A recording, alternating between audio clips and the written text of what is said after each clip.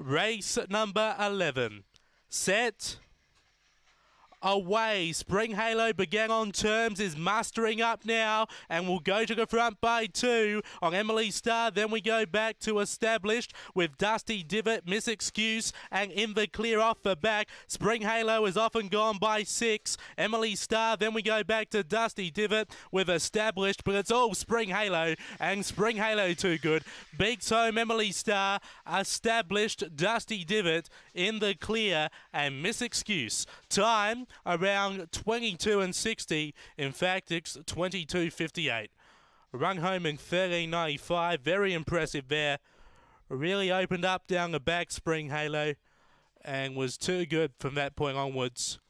Showed moderate speed, wasn't the best away, but once it mastered up, was very hard to beat from that point.